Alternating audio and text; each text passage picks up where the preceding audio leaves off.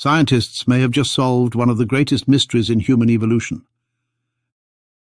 At the southern edge of Siberia, where the Altai Mountains rise into cool forests and limestone ridges, lies Denisova Cave. Inside this cavern, scientists once expected only the usual bones of Ice Age animals. Instead, they found a window into the deepest human past. From a small toe bone in this cave, researchers recovered a complete genome of a Neanderthal woman who lived around 120,000 years ago. They labelled this specimen Denisova 5, but she is more commonly referred to as the Altai Neanderthal woman to avoid confusion. She became the key to one of the most remarkable stories in prehistory, the transmission of a rare blood group type from a Neanderthal lineage into Denisovans, and eventually into the ancestors of modern Papuans and Aboriginal Australians thousands of miles to the south. This remarkable story, teased out through ancient DNA rather than fossil anatomy, helps explain how populations adapted to the harsh cold of Siberia later contributed genetic traits that supported survival in warm, disease-rich tropical environments. It offers a new narrative of early human movement, a north-to-south chain of genetic inheritance that began among Neanderthals in the Altai region roughly 100 to 120,000 years ago and ultimately helped empower humans who settled the tropical regions of Southeast Asia and the distant continent of Sahul. It also demonstrates that human migration was never a simple story of modern humans replacing archaic peoples. Instead, it was a complex choreography of contact, interbreeding, and genetic exchange. The Altai Neanderthal woman is evidence that small fragments of Neanderthal biology survive in populations thousands of miles and many tens of thousands of years removed from her own lifetime. The Altai Neanderthal lived in or around Denisova Cave in a period when Neanderthals and Denisovans shared the high-altitude forests of the Altai Mountains. Her remains consist of a single toe bone, yet from that fragment, scientists recovered a complete nuclear genome. Genetically, the Altai Neanderthal woman belonged to a deeply divergent Neanderthal lineage. She and her relatives in the Altai region formed one of the earliest branching lines in the Neanderthal family. They were isolated. The genome shows that her parents were closely related, perhaps half-siblings, a sign of a small population living in a rugged environment far from the large networks of Western Neanderthals. It was this isolation that preserved an unusual set of genetic traits, among these was a rare variant of the RHD and RHCE genes, which together define Rh blood group systems. This variant, identified in the genome of the Altai Neanderthal woman, is extremely rare in the rest of the world today. It is, however, found with surprising frequency among indigenous Australians and Papuans. The direct path that connects these populations begins with interbreeding between this Neanderthal group and their Denisovan neighbours. The RHD and RHCE genes influence how red blood cells present surface proteins. Variation at these genes affects immune function, pregnancy compatibility, and response to certain pathogens.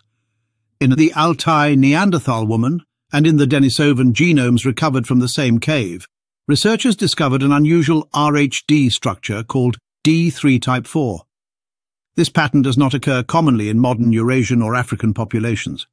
Only in Sahul, the ancient continent that once connected what is now Australia and New Guinea, does the old variant persist.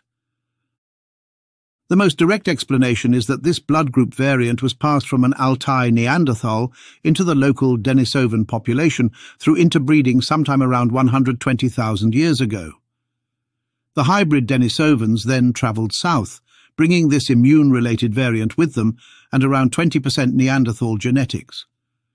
Later, when modern humans encountered these Denisovans in Southeast Asia, the variant entered the growing human population and eventually reached those who crossed into Sahul.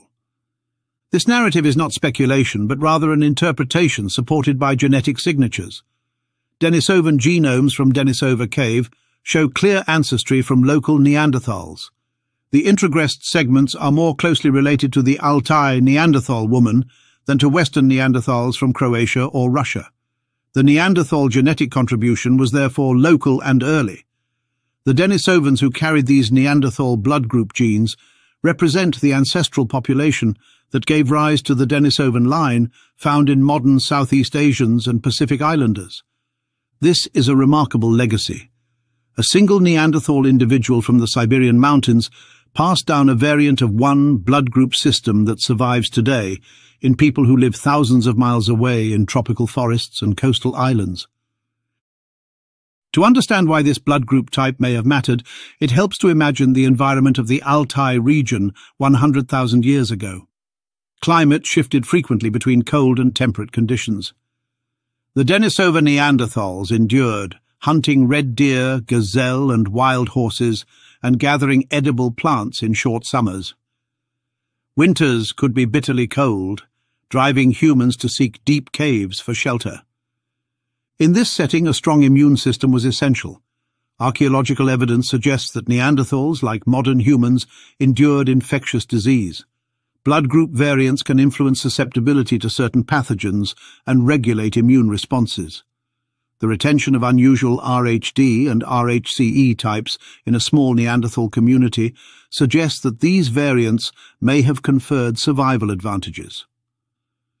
When Denisovans acquired the variant from their Neanderthal neighbours, they inherited not only a blood type, but a biological toolkit that could support survival in varied environments. This genetic foundation allowed their descendants to succeed in colder mountain zones and later in tropical river valleys where new pathogens prevailed.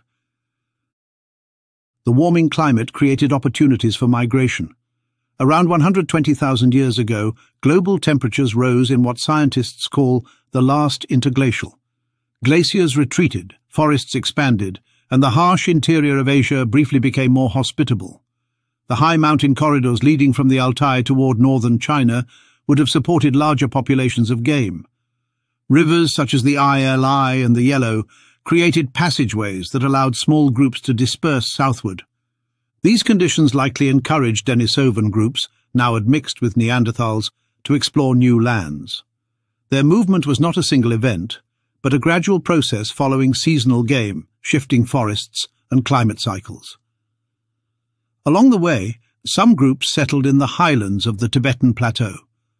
Others continued along the riverine corridors southward toward the limestone mountains of southern China. The discovery of a Denisovan jaw from the Tibetan Plateau demonstrates that Denisovan populations reached high-altitude regions far south of the Altai. The discovery of a Denisovan-like molar in Laos, isolated in a cave among limestone towers and tropical forests, confirms that Denisovan groups penetrated deep into Southeast Asia, likely long before modern humans arrived. These early travellers carried with them their inherited Neanderthal blood group variant, as well as other genes, likely conferring resistance to new pathogens. The tropical belt of Southeast Asia at this time would have presented Denisovans with abundant resources, but also new pressures. Genetic defences that helped Neanderthals contend with Eurasian pathogens may have been adaptable enough to influence responses to tropical diseases. Such traits could have been preserved by natural selection in the tropics. The persistence of the RHD variant in Sahul suggests that it may have conferred some advantage that helped early populations survive after their arrival. These advantages were not limited to immunity.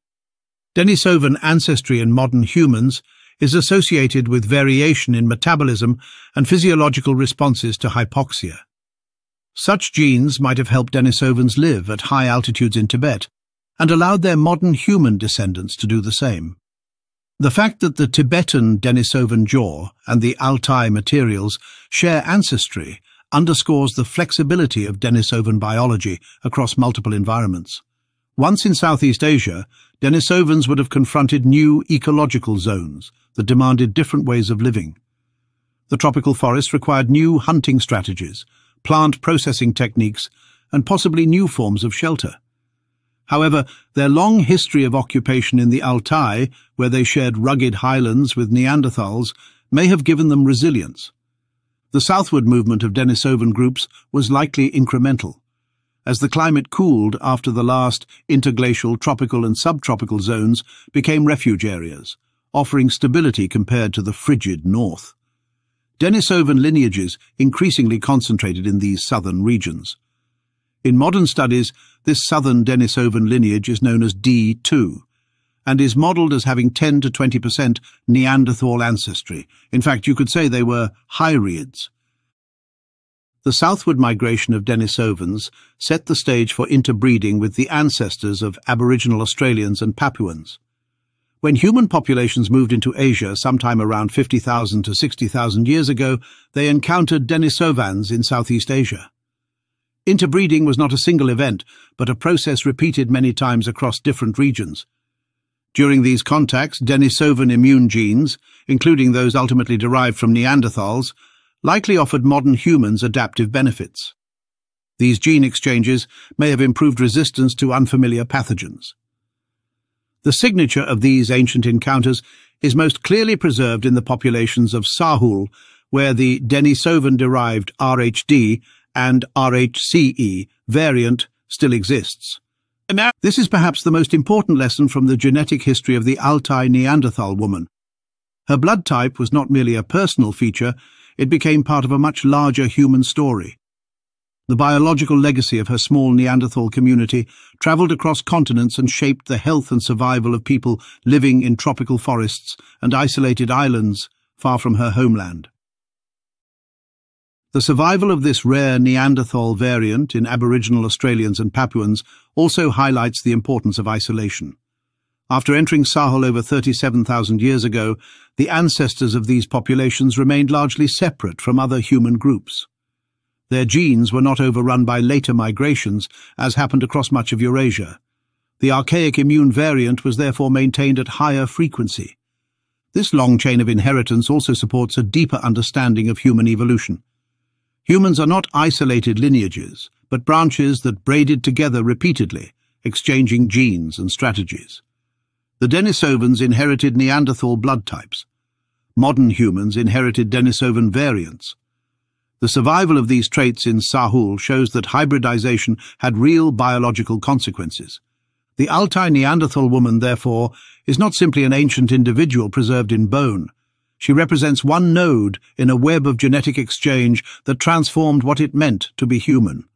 Her blood type is a thread that connects Ice Age Siberia to the tropical jungles of Southeast Asia and the shores of Australia.